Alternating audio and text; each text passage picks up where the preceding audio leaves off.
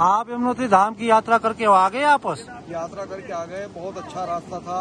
रात की भारी बारिश के बाद सब कर्मचारियों ने ऑफिसर ने छोटे कर्मचारियों ने सबने काफ़ी अच्छी मेहनत की और पूरा रास्ता में साफ़ मिला।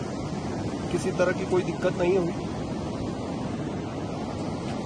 आप सब लोग का बहुत बहुत धन्यवाद। है इतनी कठिन सेवा में आप लोग देते हो इतनी कठिन जगह पे आप लोग सेवा देते हैं। आप लोग का बहुत बहुत धन्यवाद। है आभार। है